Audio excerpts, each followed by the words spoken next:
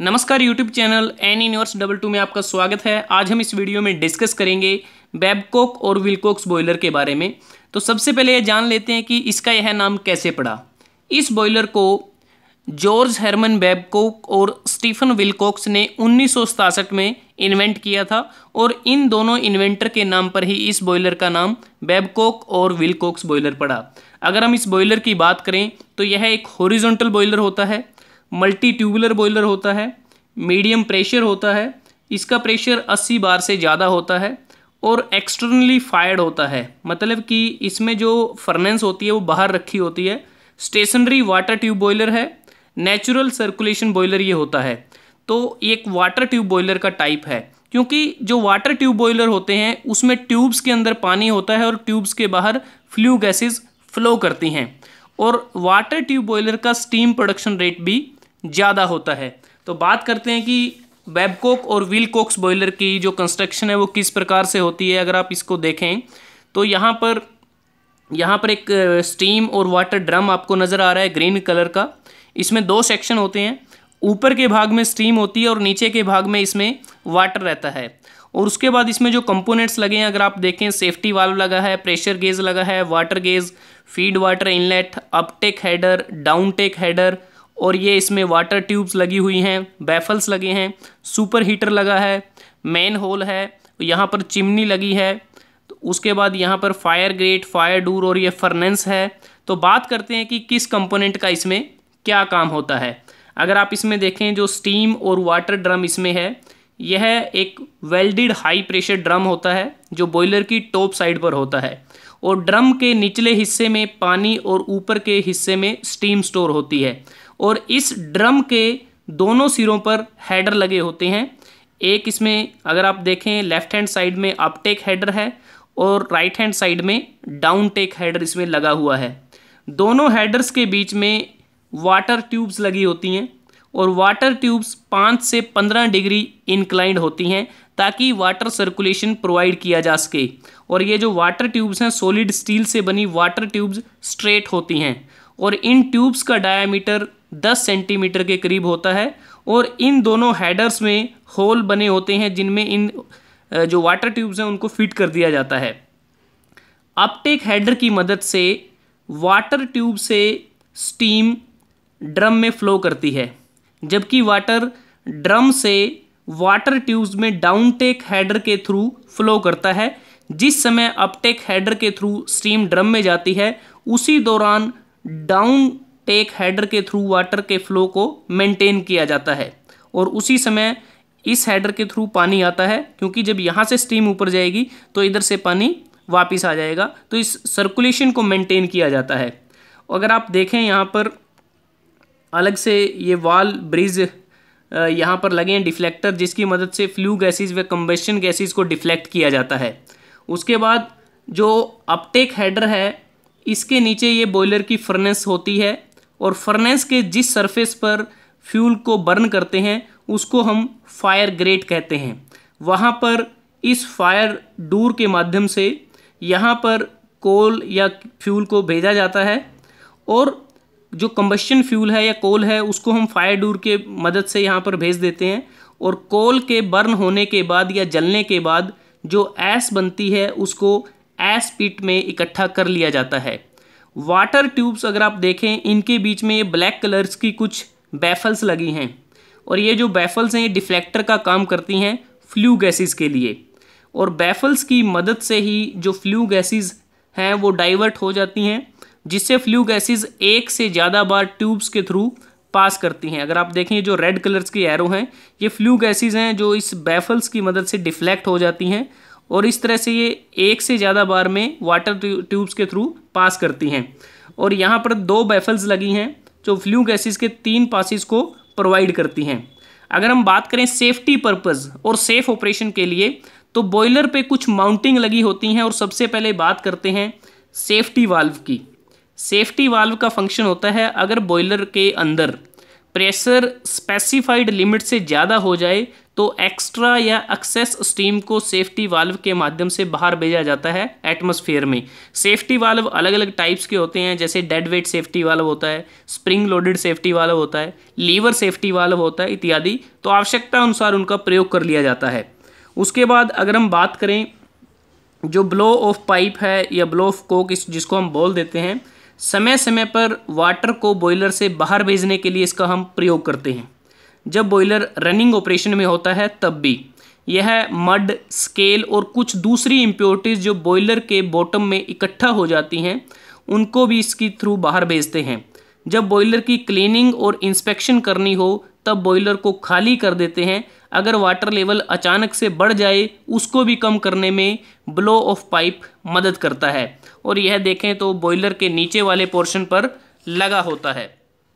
उसके बाद manhole manhole का पर्पज़ है सेल में ओपनिंग को प्रोवाइड करना, जिससे व्यक्ति ड्रम में जा सकता है क्लीनिंग इंस्पेक्शन या मेंटेनेंस की रिक्वायरमेंट के समय।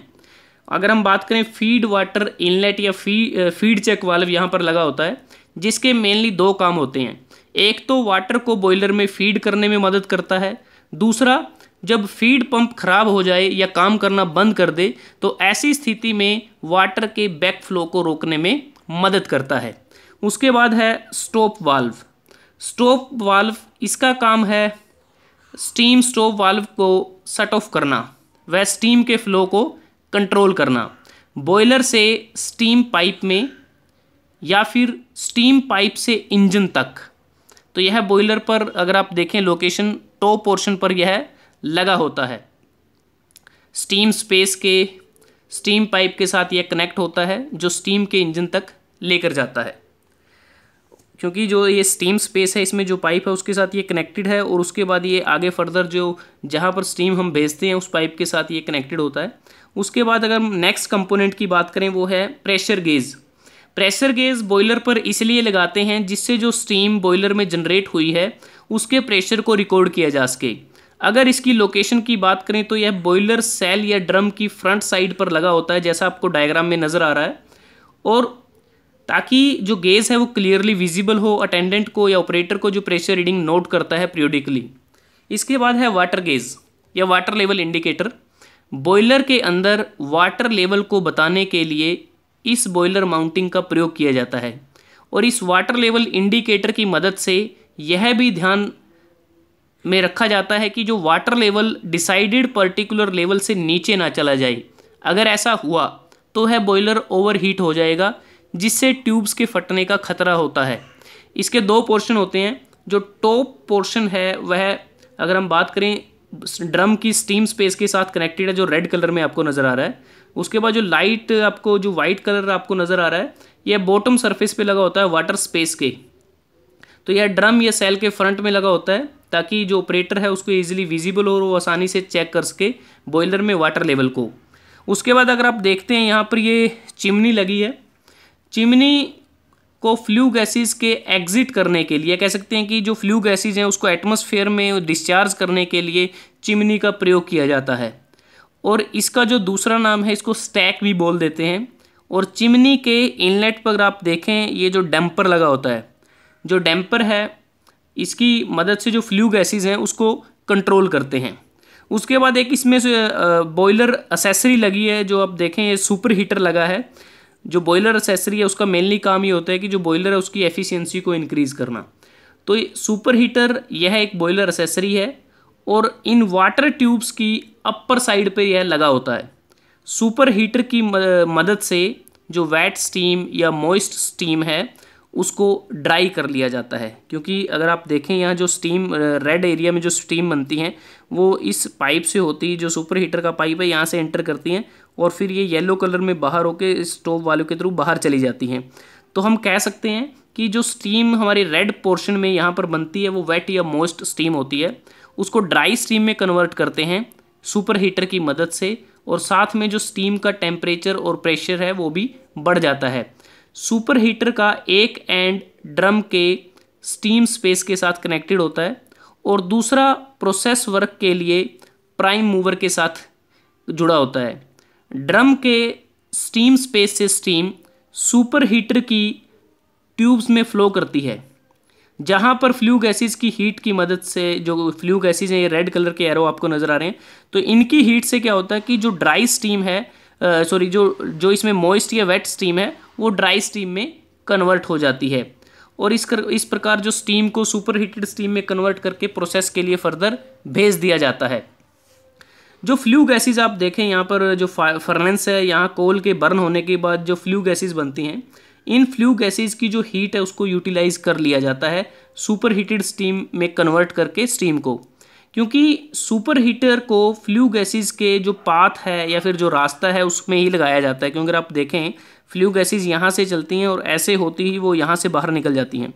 तो ये वो रास्ता है जहाँ फ्लू गैसेज फ्लो करती हैं। तो उसी के रास्ते में सुपर हीटर को भी लगा दिया जाता है। और सुपर हीटर की मदद से स्टीम प्लांट की एफिशिएंसी बढ़ जाती है इकोनमी और स्टीम में जो मॉइस्चर है, वो रिमूव हो जाते हैं, जिससे फ्रिक्शन कम होता है। और स्टीम टर्बाइन ब्लेड का इरोजन भी पहले के मुकाबले कम हो जाता है। तो आप देख सकते हैं कि कैसे बेबकोक विलकोक्स बॉयलर में कार्य होता है। मैं फिर से आपको रिपीट करता हूँ कि कोल बर्न होगा फ्लू गैसेज ऐसे जाएँगी। जो वाटर है वो यहाँ से जाएगा फ्लू गैसेज वाटर को स्टीम में कन्वर्ट कर देंगी, जो स्टीम है वो वेट या मॉइस्ट स्टीम होगी, वो यहाँ से एंटर करेगी सुपर हीटर से जब गुजरेगी तो फिर से फ्लू गैसेज उनको हीट करेंगे और वो ड्राई स्टीम में कन्वर्ट हो जाएगी। और उसके बाद जो फ्लू गैसेज चिमनी से होती हुई एटमोसफेयर में डिस्चार्ज हो जाएँगी। तो दोस्तों, आपने इस वीडियो में बात कर रहे हैं बेबकोक और विलकोक स्पॉइलर की। उसके बाद इसमें कुछ स्पेसिफिकेशन होती हैं जिसका हमें ध्यान रखना पड़ता है।